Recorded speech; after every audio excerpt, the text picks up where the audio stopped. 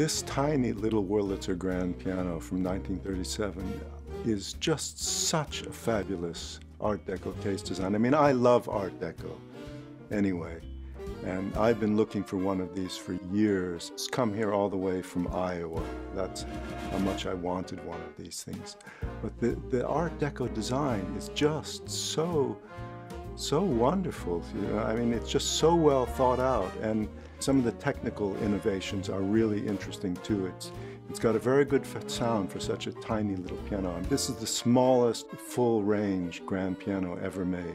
They were made for a very short period of time. They made 75 of them. We know about maybe 25 of them now. They're, they're really rare creatures and very much sought after by people who love Art Deco. For an Art Deco room, you couldn't get anything better, really, than this.